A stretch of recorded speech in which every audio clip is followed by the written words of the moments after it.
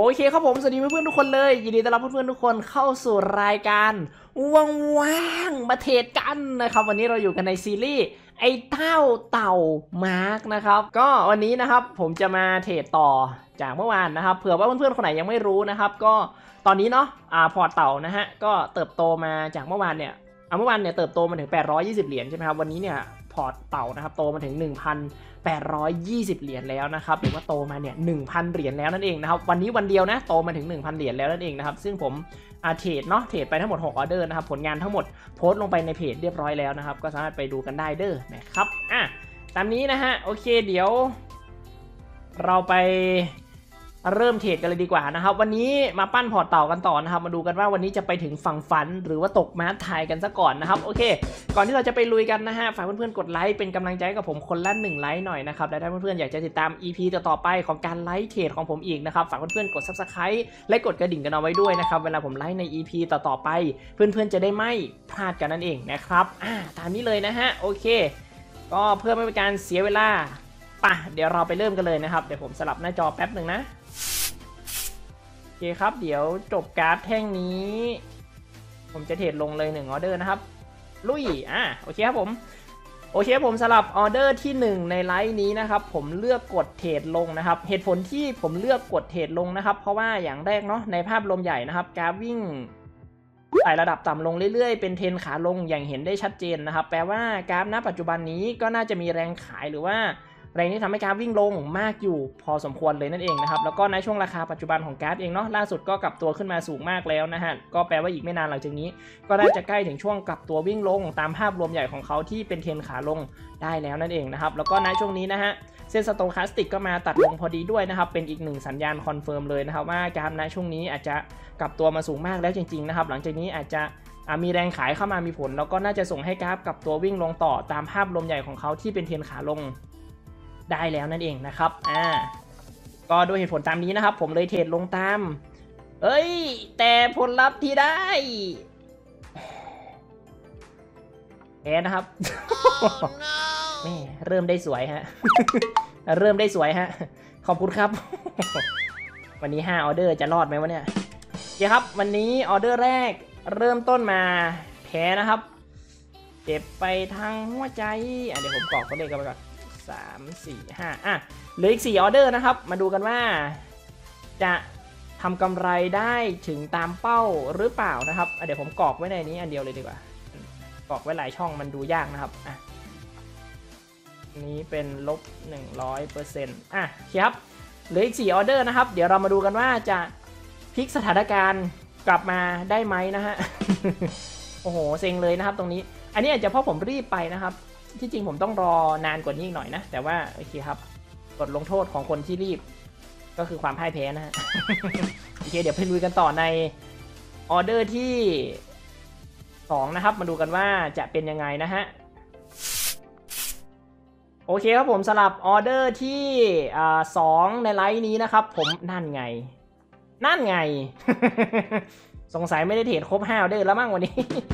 ก็สลับออเดอร์ที่2นะครับผมเลือกกดเทรดลงนะครับเหตุผลที่ผมเลือกกดเทรดลงนะครับเพราะว่าการณปัจจุบันนี้เนาะในภาพรวมใหญ่นะครับเขาวิ่งไต่ระดับต่ำลงเรื่อยๆ อย่างเห็นได้ชัดเจนนะครับแปลว่าการณปัจจุบันนี้ก็น่าจะมีแรงขายหรือว่าแรงที่ทำให้กาฟวิ่งลงมากอยู่พอสมควรเลยนั่นเองนะครับแล้วก็ในช่วงราคาปัจจุบันของกราฟเองนะครับล่าสุดก็กลับตัวขึ้นมาสูงมากพอสมควรแล้วนะครับแปลว่าอีกไม่นานหลังจากนี้ก็น่าจะใกล้ถึงช่วงกลับตัววิ่งลง ตามภาพรวมใหญ่ของเขาที่เป็นเทรนด์ขาลงได้แล้วนั่นเองนะครับ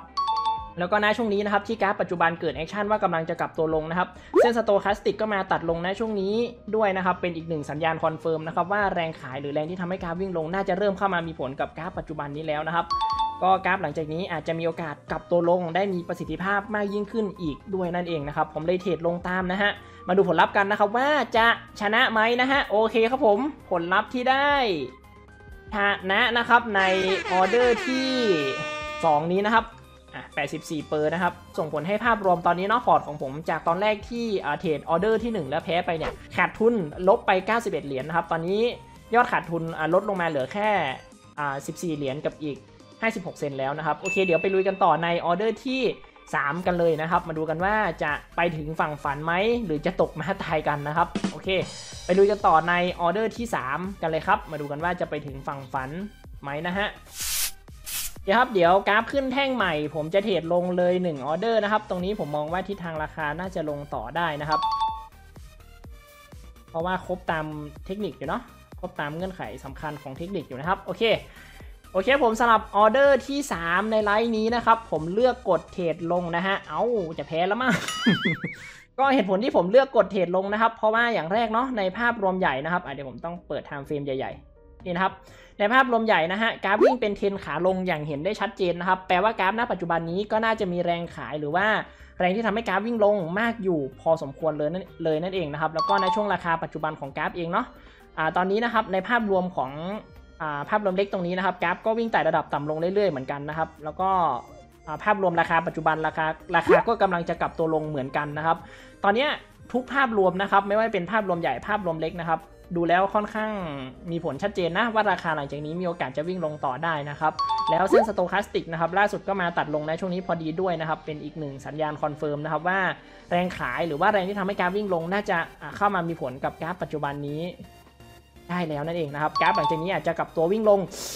ตามแรงขายที่เข้ามามีผลได้นะครับ ผมเลยเทรดลงตาม แต่ผลลัพธ์ที่ได้แพ้นะครับเป็นม้าลายแล้วมั่งวันนี้ เป็นม้าลาย เป็นม้าลายอีกแล้วมั่งโอ้โหเชียครับตอนนี้ยอดขาดทุนขาดทุนอยู่ที่ 5.8%นะครับ ก็แอบเซ็งนะแอบเซ็งนะฮะ แต่ว่าโอเคครับไม่เป็นไร เดี๋ยวไปลุยกันใหม่ในออเดอร์หน้านะครับ ก็อีก 2 ออเดอร์ที่เหลือนะครับ ถ้าสมมติผมชนะรวดทั้ง 2 ออเดอร์เลยนะครับ วันนี้นะ จะจบที่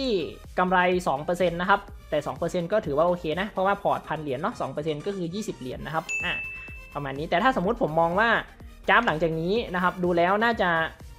เทรดได้เนาะเป็นจุดมีจุดที่ผมมั่นใจ ผมจะ martingale แล้วกันนะครับ ถ้า martingale เนี่ยผมจะเทรดออเดอร์ต่อไปที่ประมาณ 250 เหรียญนั่นเองนะครับ ประมาณนี้นะ ถ้ามั่นใจนะครับ แต่ถ้าไม่มั่นใจก็ 91 เหรียญเหมือนเดิมนะฮะโอ้โหกลายเป็นกลับตัวขึ้นซะงั้นเสียใจเสียใจอ่าไม่เป็นไรครับเดี๋ยวลุยกันใหม่เนาะเดี๋ยวลุยกันใหม่ ไปลุยกันต่อในออเดอร์ที่ 4 เลยนะครับ มาดูกันว่าผลงานจะออกมาเป็นยังไงนะฮะ โอเคครับ เดี๋ยวกราฟขึ้นแท่งใหม่ ผมจะเทรดลงเลย1ออเดอร์นะครับ มาดูกันว่าจะเป็นยังไงนะ โอเค ค่อนข้างมั่นใจนะครับจุดนี้ เดี๋ยวผมสลับออเดอร์ที่เอ่อ4ในไลน์นี้นะครับ ผมเลือกกดเทรดลงนะครับเหตุผลที่ผมเลือกกดเทรดลงนะครับ อันนี้เป็นการมองในภาพรวมเล็กเฉยๆนะครับ ก็คือกราฟปัจจุบันในภาพรวมตรงนี้เนาะ เราจะเห็นว่าเขาวิ่งไต่ระดับต่ำลงเรื่อยๆ อย่างเห็นได้ชัดเจนนะครับ แปลว่ากราฟณปัจจุบันตรงนี้ น่าจะมีแรงขายหรือว่าแรงที่ทำให้กราฟวิ่งลงเข้ามามีผลมากอยู่พอสมควรเลยนั่นเองนะครับ แล้วก็ในช่วงราคาปัจจุบันของกราฟเองล่าสุดก็กลับตัวขึ้นมาสูงมากพอสมควรแล้วด้วยนะครับ ก็แปลว่าอีกไม่นานหลังจากนี้ก็น่าจะใกล้ถึงช่วงกลับตัววิ่งลงตามภาพรวมใหญ่ของเขาที่เป็นเทรนด์ขาลงนะครับที่เขาวิ่งไต่ระดับต่ำลงเรื่อยๆนี้ได้แล้วนั่นเองนะครับแล้วก็ในช่วงนี้นะครับที่กราฟเกิด action ว่ากำลังจะกลับตัวลงนะครับ เส้น stochastic ก็มาตัดลงในช่วงนี้พอดีด้วยนะฮะ เป็นอีกหนึ่งสัญญาณ confirm นะครับว่าแรงขายหรือแรงที่ทำให้กราฟวิ่งลง น่าจะเริ่มเข้ามามีผลกับกราฟณปัจจุบันตรงนี้นะครับ อาจจะผลักให้กราฟปัจจุบันตรงนี้กลับตัวลงได้อ่ามีประสิทธิภาพมากยิ่งขึ้นอีกด้วยนั่นเองนะครับ เห็นอย่างนี้นะฮะผมมองว่ากราฟหลังจากนี้น่าจะกลับตัววิ่งลงมาได้นะครับ ผมเลยเทรดลงตามผลลัพธ์ที่ได้ชนะนะครับอ่าโอเคครับออเดอร์ที่สี่ อันนี้ผมขอ martingale ออเดอร์หนึ่งแล้วกันนะครับ เพราะว่าดูจากทรงแล้วค่อนข้างอันนี้เนาะกราฟค่อนข้างน่าเป็นห่วงเนาะแล้วก็พอร์ตผมก็ค่อนข้างน่าเป็นห่วงนะฮะถ้าสมมติเออไม่มาจริงเกียวนะครับโอเคครับสำหรับตอนนี้ภาพรวมทั้งหมดนะครับ ผมทำกำไรวันนี้มาได้อยู่ที่ 99 เหรียญกับอีก 44 เซนแล้วนะโอ้โหเลขโคตรเท่ 9944 9944 เลขโคตรเท่ ก็ได้กำไรมาทั้งหมด 99 เหรียญกับอีก 44 เซนแล้วนะครับ หรือว่าตอนนี้เนี่ยผมทำกำไรมาได้อยู่ประมาณ ถ้าคิดเป็นเงินไทยนะครับประมาณ 2,983 บาทกับอีก 20 สตางค์นั่นเองนะครับ อันนี้คือประมาณนะฮะประมาณนะ เผื่อค่าเงินมันผันผวนมันอาจจะน้อยกว่านี้นะครับ อะโอเคครับ เดี๋ยวเหลือออเดอร์ที่ 5 ต่อนะครับ อีกออเดอร์หนึ่งนะครับ ก็เดี๋ยวเราไปลุยกันต่อในออเดอร์ที่ 5 นะครับ ออเดอร์สุดท้ายในไลฟ์นี้นะฮะ อะเดี๋ยวเราไปลุยกันต่อเลยนะครับ มาดูกันว่าจะเป็นยังไงนะฮะวันนี้เนาะ เดี๋ยวถ้ากราฟขึ้นแท่งใหม่ ผมจะเทรดขึ้นเลย1ออเดอร์นะครับสำหรับตรงนี้เนาะมาดูกันว่าหลังจากนี้เขาจะกลับตัวขึ้นได้ไหมนะครับ เสี่ยงอยู่นะ ตรงนี้เป็น position ที่เสี่ยงอยู่นะครับ แต่ถ้าเทรดสั้นน่าจะได้เปรียบอยู่ลุยโอเคครับผมสำหรับออเดอร์ที่5ออเดอร์สุดท้ายในไลฟ์นี้ ผมเลือกกดเทรดขึ้นนะครับ เหตุผลที่ผมเลือกกดเทรดขึ้นนะครับ เพราะว่ากราฟณปัจจุบันนี้เนาะอย่างแรกนะครับ ในภาพรวมใหญ่เนี่ยเขาวิ่งเป็นเทรนด์ขาขึ้นอย่างเห็นได้ชัดเจนนะครับ แปลว่า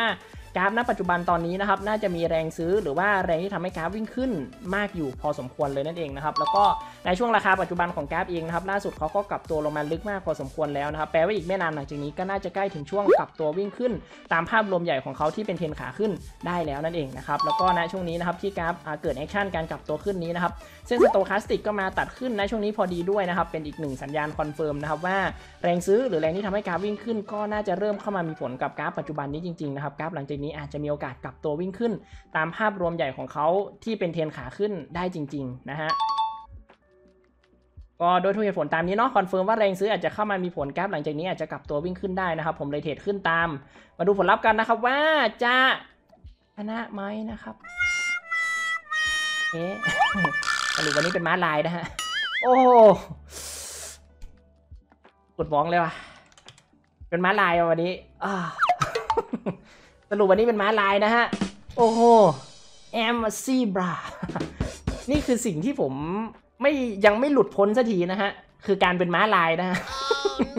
เป็นม้าลายมากี่วันแล้วเนี่ย คือ โอ้โห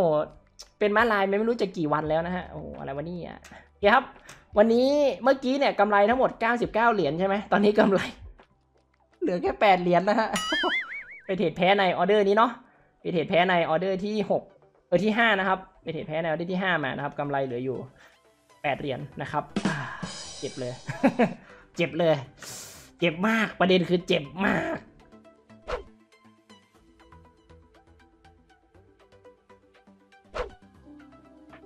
ปึ๊บโอเคน่าจะได้อยู่นะ เพราะว่าผมเห็น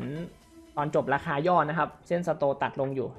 โอเคผมก็สำหรับออเดอร์ที่เออไม่ใช่ออเดอร์ที่ออเดอร์สุดท้ายในไลฟ์นี้นะครับอันนี้สุดท้ายแล้ว ก็คือผมเลือกกดเทรดลงนะครับเหตุผลที่เลือกกดเทรดลงอันนี้เพราะว่าอย่างแรกเนาะในภาพรวมใหญ่นะครับกราฟวิ่งไต่ระดับต่ำลงเรื่อยๆอย่างเห็นได้ชัดเจนนะครับแปลว่ากราฟณปัจจุบันนี้น่าจะมีแรงขายหรือว่าแรงที่ทำให้กราฟวิ่งลงเข้ามามีผลมากอยู่พอสมควรเลยนั่นเองนะครับแล้วก็ในช่วงราคาปัจจุบันของกราฟเองนะครับล่าสุดก็กลับตัวขึ้นมาสูงมากพอสมควรแล้วเนาะก็แปลว่าอีกไม่นานหลังจากนี้ก็น่าจะใกล้ถึงช่วงกลับตัววิ่งลงตามภาพรวมใหญ่ของเขานะครับที่ เป็นเทรนด์ขาลงได้แล้วนั่นเองนะครับ แล้วก็ในช่วงนี้ตอนที่ผมเข้าเทรดนะครับเส้น stochastic ก็มาตัดลงพอดีด้วยนะครับ เป็นอีกหนึ่งสัญญาณ confirm นะฮะว่าแรงขายหรือแรงที่ทำให้กราฟวิ่งลงน่าจะเริ่มเข้ามามีผลกับกราฟปัจจุบันนี้ ได้แล้วจริงๆนะครับกราฟหลังจากนี้อาจจะกลับตัววิ่งลง ได้จริง ๆ นั่นเองนะครับโอ้โอแต่ผลลัพธ์ที่ได้เออแพ้นะครับ ไม่น่ามองข้ามภาพรวมตรงนี้เท่าไหร่นะครับ แต่ก็ไม่เป็นไรพลาดก็คือพลาดนะครับ เดี๋ยวครับวันนี้สรุปแพ้นะครับสลับออเดอร์ที่ 6 นะครับ ก็ยอดขาดทุนเนาะขาดทุนอยู่ที่ 241 เหรียญนะครับ ก็เดี๋ยวพักไว้ที่เท่านี้ก่อนนะฮะ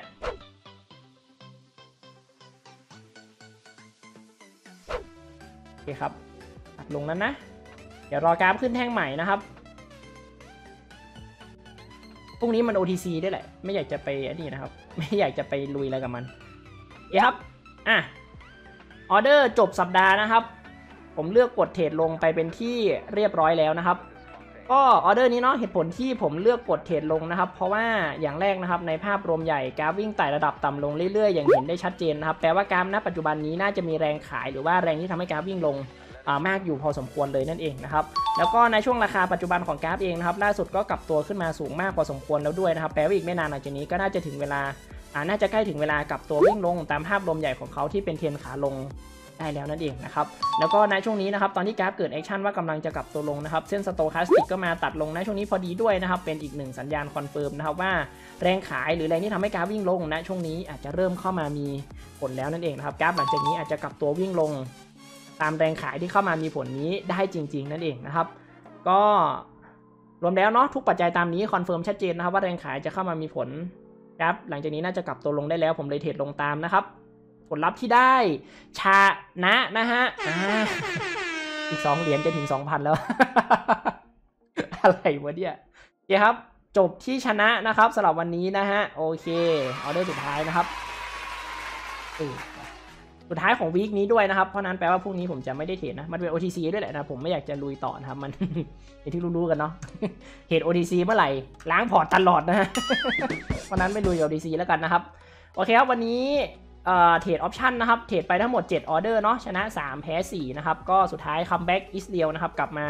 ทำกำไรได้สำเร็จนะครับ ตอนแรกคิดว่าจะพักแล้วนะ แต่ว่า เห็น position มันสวยพอดีนะครับตรงนี้เนาะผมก็เลยคิดว่าอะสักหน่อยแล้วกัน สักหน่อยแล้วกันนะฮะะสุดท้ายก็เป็นไปอย่างที่วิเคราะห์เลยนะครับ ราคาเกิดการกลับตัวลงจริง ๆ แล้วก็จบที่ชนะไปในออเดอร์อ่าที่ 7 นะครับออเดอร์สุดท้ายนี้นั่นเองนะครับก็รวมแล้วนะครับเทรดมาทั้งหมด 7 ออเดอร์ทำกำไรมาได้อยู่ที่